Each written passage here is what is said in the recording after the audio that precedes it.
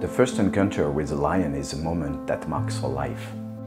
Meeting the gaze of the king of the savannah does not leave you unscathed.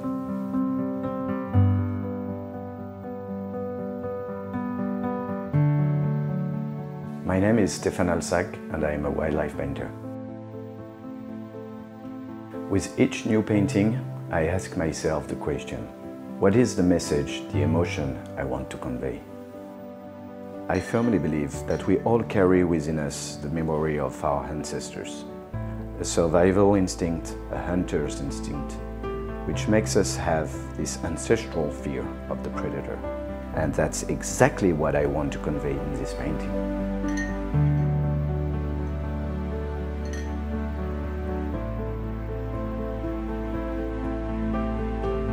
I want to create a silent dialogue between man and beast.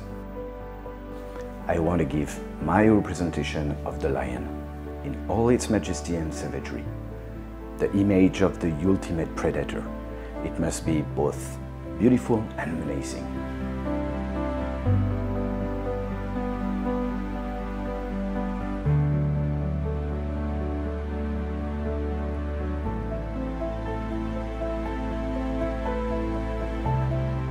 Composition is raw, essential, a portrait without embellishment in chiaroscuro.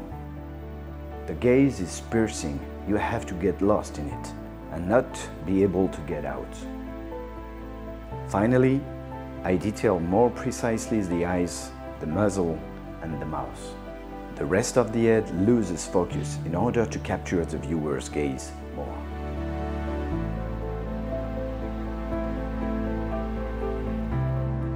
The title of the painting is Maximus, superlative of Magnus in Latin, which means the greatest.